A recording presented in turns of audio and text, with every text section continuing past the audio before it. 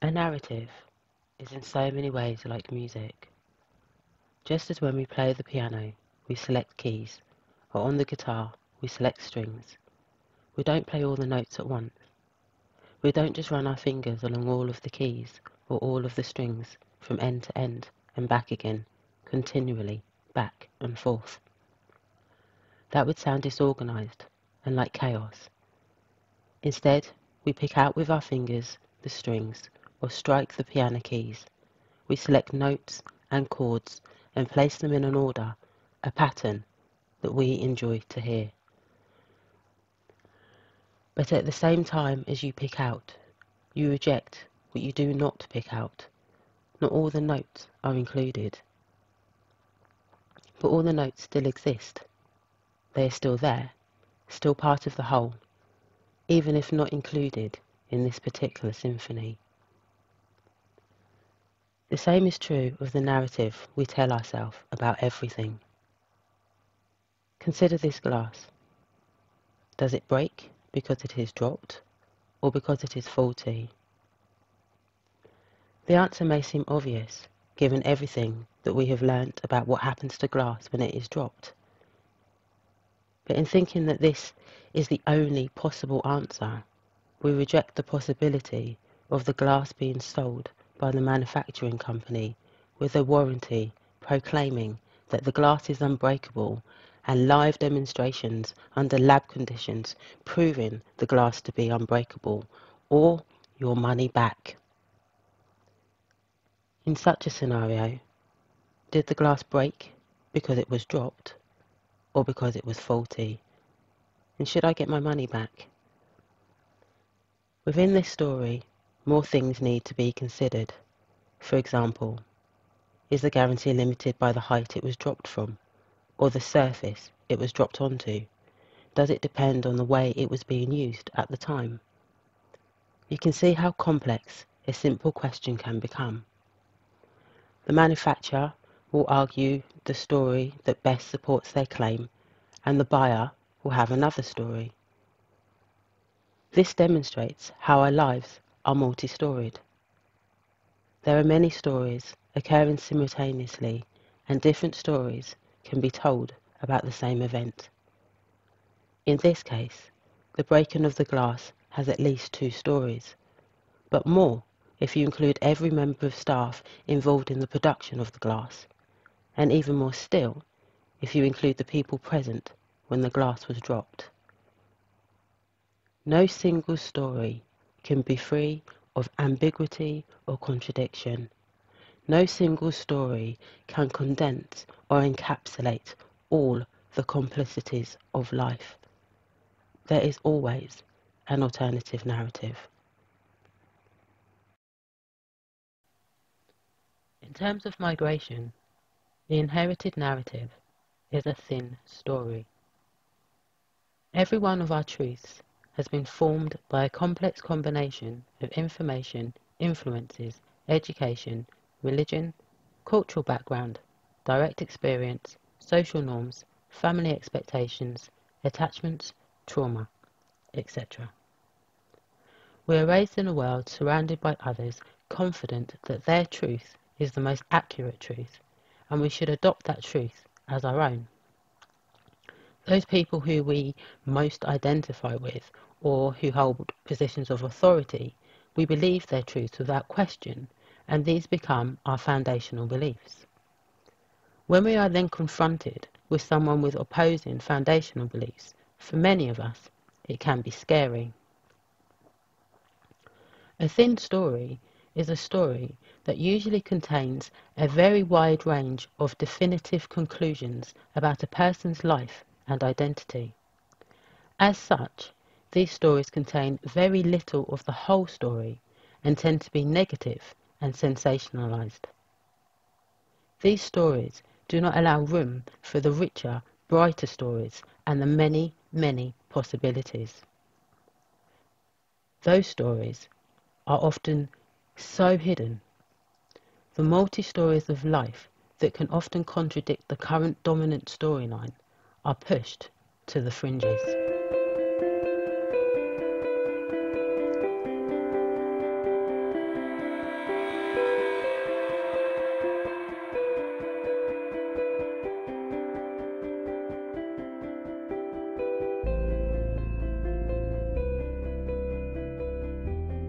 An important missing part of the narrative is we were invited.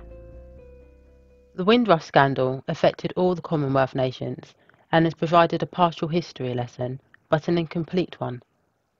Migrants were recruited from the Commonwealth countries by the British government to fill post-World War II labour shortages. The first group travelled aboard the HMT Empire Windrush in 1948, giving the migration its name. But let's explore migration in more detail. In an article published on January 3, 2019, in The Conversation, entitled What Britons Get Wrong About Migration, written by Bobby Duffy, Professor of Public Policy and Director of the Policy Institute, King's College London. Duffy outlined the misconceptions about migration. But first, let's remind ourselves of some of the most common myths.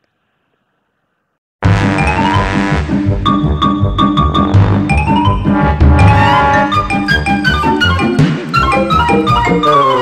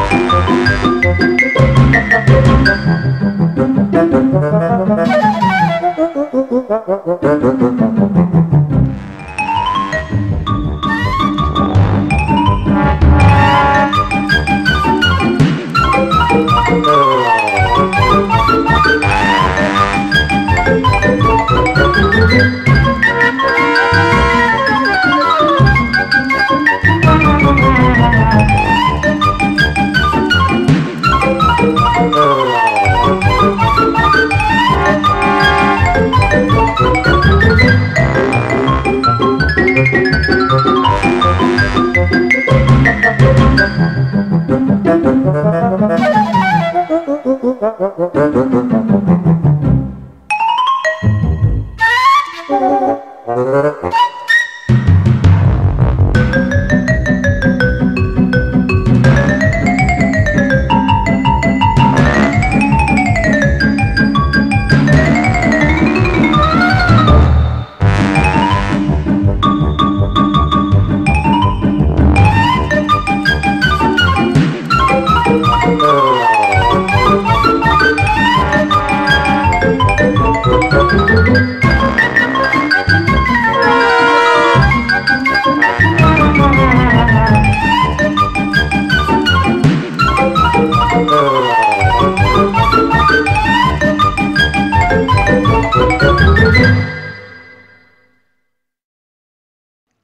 Returning to the article by Bobby Duffy, first he points out, we get a lot wrong. Surveys show Britons think around a quarter of the population are immigrants, when it's half that, at around 13%. And they think immigration from EU countries is nearly three times the actual level of 6%. The Ipsos latest Perils of Perception study shows which key facts the online public across 37 countries get right about their society and which they get wrong. Now in its fifth year, the survey aims to highlight how we're wired to think in certain ways and how our environment influences our perceptions. According to Ipsos, the majority of countries hugely overestimate levels of migration, a pattern seen in previous studies. The average guess across 37 countries is that 28 are immigrants when the actual figure is less than half that at 12%. Nearly every country included in the study also overestimates their Muslim population by a large margin. The average guess was more than double the actual figure. 20% was the guess versus 8% as actual. Bobby Duffy continues, It's not just the scale, but the composition that people get wrong. When surveyors ask people what type of immigrant come to mind when they think of immigration, refugee and asylum seekers are the most mentioned, when they're actually the smallest category of immigrants. People's mental image is driven by media coverage, and the tendency is to focus on the most desperate cases, not the more common categories of people who immigrate to work, study, or be with family. According to Ipsos, overall perceptions of immigration are problematic because they cover such a wide range of people and circumstances, and our top of mind, or imagined migration, is very different from the real breakdown of immigrant groups. Most importantly, people in the UK are most wrong on the impact of immigration. Large proportions think that immigration increases crime levels, reduces the quality of the NHS and increases unemployment amongst skilled workers when the best evidence available shows none of these are true.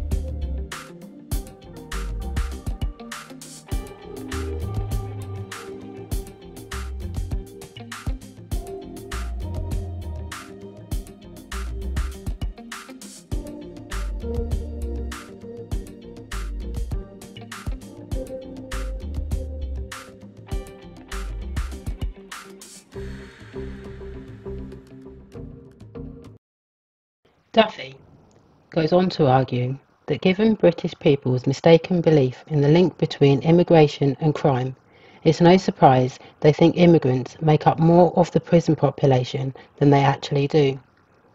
Those thousand people surveyed guessed 34% of prisoners were immigrants, when the reality is 12%, in line with their share of the population. Firstly, we know that there is a complex relationship of cause and effect in our misperceptions.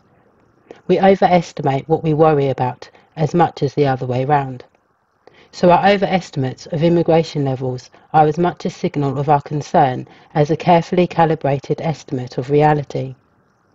Our view of reality is coloured by our emotions, and this means that simple myth busting alone will have limited impact. Second, Many argue that the underlying driver of concern around immigration is not a cost-benefit calculation, but a broader cultural concern that British society is changing too fast. So correcting the misreading of these facts by showing that immigration is actually good for our economy, public finances and services may miss the point. So let's return for a moment to the glass and consider a story that has not been considered yet, one viewpoint that we have not yet discussed. The viewpoint of the glass. The glass is an object. It does not know it is a glass. It is just a glass. The same is true of a human being. A human being, at the end of the day, is just that, a human being having an experience much the same as you. There are more things that connect us than that divide us. It's hard to see under the endless classifications, categories, brands or labels that we apply to ourselves. These next five stories are from Luton residents, my neighbours, my friends, the people I share this space and place that we all call home. But first, let me tell you how Luton fits into the national narrative in terms of labour. In the 16th century, Luton officially opened its doors to brickmaking when small clay pits were opened. In the 17th century, Luton became a prominent town in Bedfordshire for making straw hats. Vauxhall Motors came to Luton in around 1905 and is one of the two industries in Bedfordshire that contributed to the national economy. Opened in 1938, Luton Airport joined a thriving industrial town with success from hat making, automotive, engineering works and brickmaking. It is primarily these industries within which migrants from across the Commonwealth came to work. Growing up Caribbean, Many of my elders living in Luton worked for British Rail, Electrolux, the Luton and Dunstable Hospital and Vauxhalls. But we'll return to this in a moment. First, some of my neighbours have agreed to let me share their stories with you as long as their identity is concealed. With the following stories, I hope to share with you the truth about migration.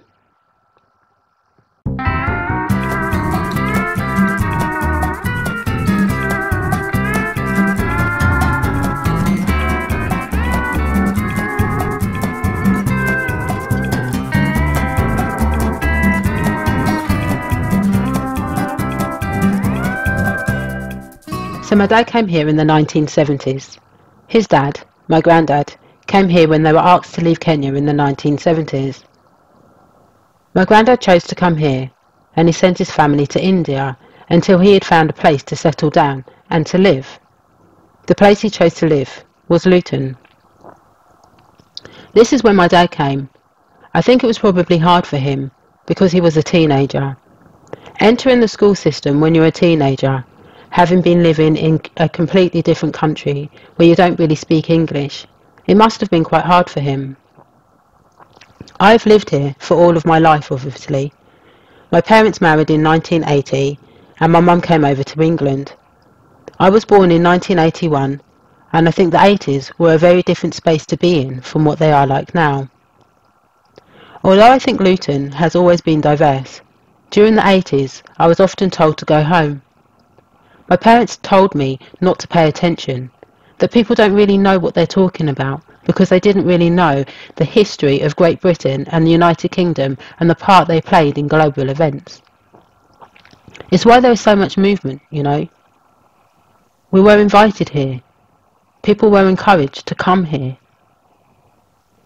Being in a place like Luton made it easier to fit in, just because it is so diverse and there's lots of different kinds of people from all over the world. Having such a migrant community, I think it helps people to accept diversity. What do I think about cultural diversity in Luton? I think it's thriving. I think Luton wouldn't be the place it is without it. I think its impact is underestimated. Look at how successful Luton is in integrating people. On the whole, most people live together in relative harmony. You hear about Luton on the news. It's always sensationalised. Luton is home to me. I was born here. I have chosen to stay here.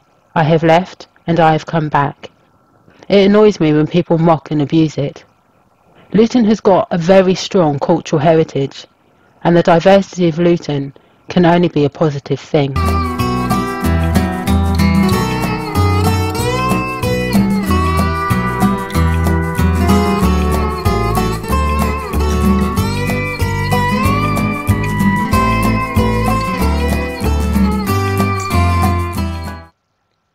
When I first came to Luton, one thing that was important to me was to learn English. I am Sri Lankan, born in Germany, so my first two languages are Tamil and German. English is my third language. I came to England in 2004 and started high school.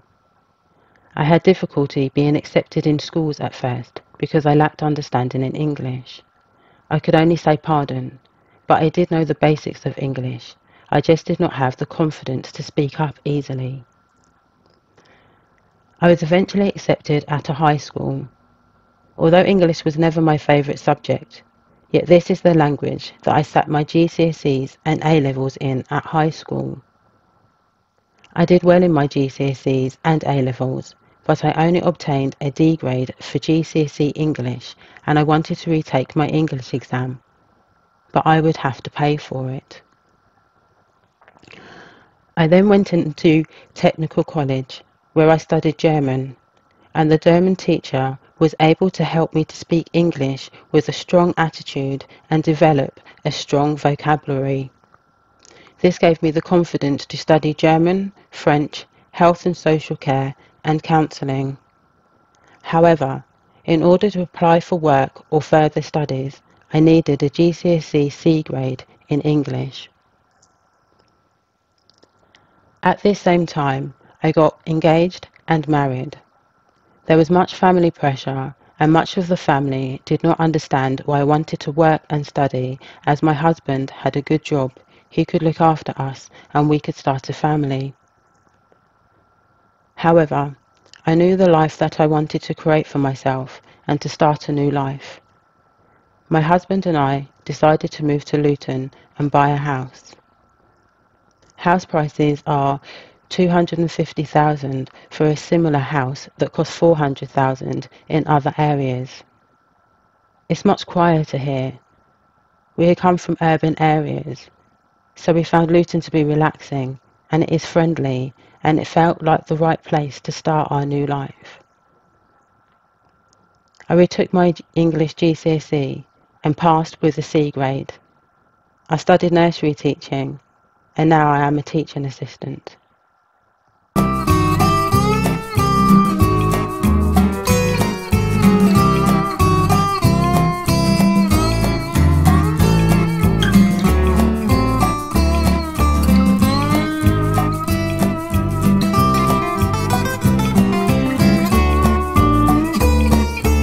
When I first arrived in Luton, I arrived by train.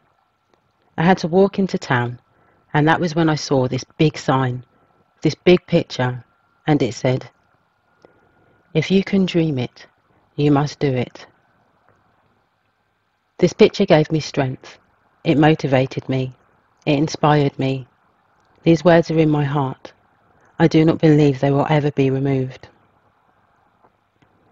I was working on a farm in my country, Italy, but ever since I was 13 or 14, I have wanted to travel. I travelled to many, many cities in Italy. I travelled to Monaco and Germany. I loved experiencing the many different cultures, languages, traditions, all the different ways of life. Work on the farm is seasonal, so for six months the pay may be good, and then maybe no pay for six months. I started training in an Italian school that specialised in one of the hospitalities and which works with a corporation in Luton. After I finished training, I had my interview and then I became employed here. Seeing that sign when I first arrived gave me power and energy. It was the word must. If you can dream it, then you must. Not should or maybe, but you must. And I knew that it was good for me to follow my dream.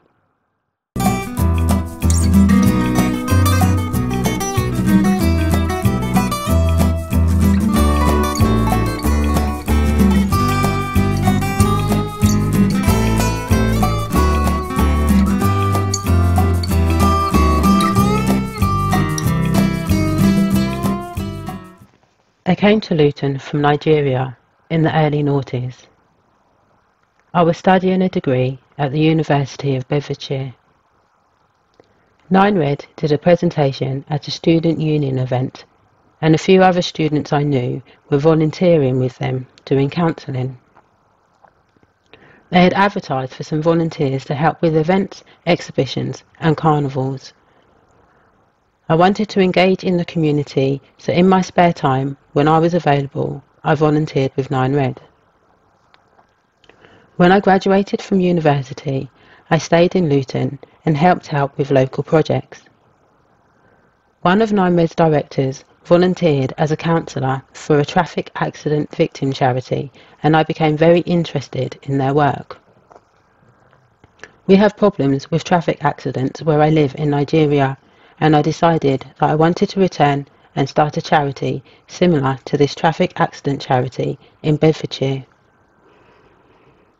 During my time in Luton, I met with so many different types of people from all over the world and from so many backgrounds. I've learnt so much from so many people. I had experiences that I will never forget and I enjoy teaching people about my culture and the history of my country.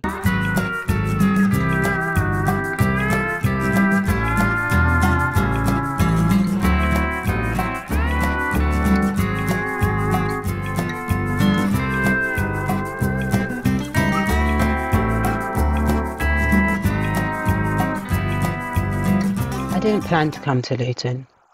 I just landed here. I came to join my brother. I was born in Romania, but I lived and worked in Italy for many, many years before coming to England. I was in my late teens when I left Romania. I worked in Italy, then I came here in 2018.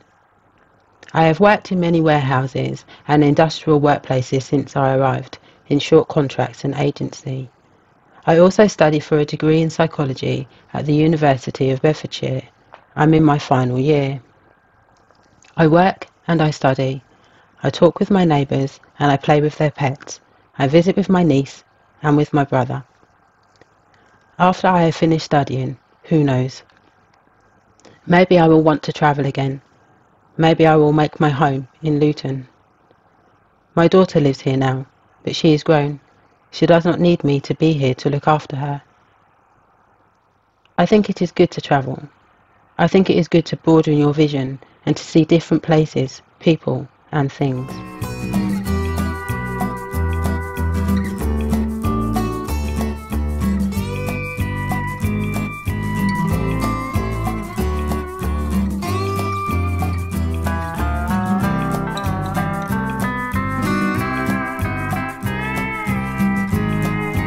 This I know is a very small sample. I wanted you to meet some of the people from my neighbourhood. I wanted to share some of my Luton with you, and in that vein, let me share with you some of my story. I grew up in an environment that was always filled with stories from home. The bright smiles and laughs that I would always hear coming from the living room when they reminisced on days gone by and stories of their first arriving. Stories are always fascinating, but even more so when there is a little mystery, a little thing that sticks in your mind because it takes a moment to fully comprehend. These stories teach so much more than just cultural traditions, customs and values. They also provide valuable lessons in perception and in meaning. Allow me to explain. All countries have seasons, but not all seasons look the same. Growing up in Britain and of Caribbean descent, I learnt as a child that trees and plants primarily stay green in the winter in the Caribbean, and that in the UK, trees primarily die down in the winter and are reborn in the spring. Imagine then in the days before the internet what winter must look like in the UK to someone arriving who has never seen winter before. Imagine how in awe you would be of the reds, the golds and the majestic colours of autumn leaves if you've never before seen an autumn and what this experience would mean to you.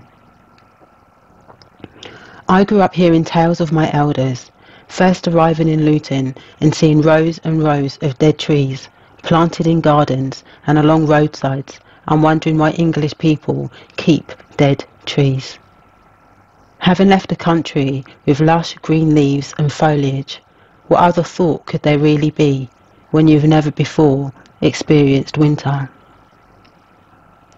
This is one of the things that I love the most about Luton. It's not just that you can learn other people's traditions, other people's customs, values, and ways of life. It's not so much that it is so rich with diversity and so rich with so much of what life is about. But more than that, it is rich with these alternative perceptions, these alternative mindsets, these alternative ways of being, ways of thinking, and ways of doing. This is what makes me love Luton so much and what inspires me to go out and speak to and meet so many, many different people from so many, many different places. So how then did Luton become my home? The elders in my life worked in various industries, British Rail, London Transport, Vauxhalls and Electrolux and they were amongst the nurses that were recruited by the NHS to work in the Luton and Dunstable Hospital. My parents came to Luton after a bereavement. My dad at the time worked for British Rail and he wanted to move to another part of the country. After work one day, he got on the train and decided to stay on it until it terminated. The train terminated in Luton and my family have been an active part of the community ever since. Thank you for coming on this journey with me, taking the time to travel through Luton, migration, and me, and the friends and family and neighbours that I've met along the way.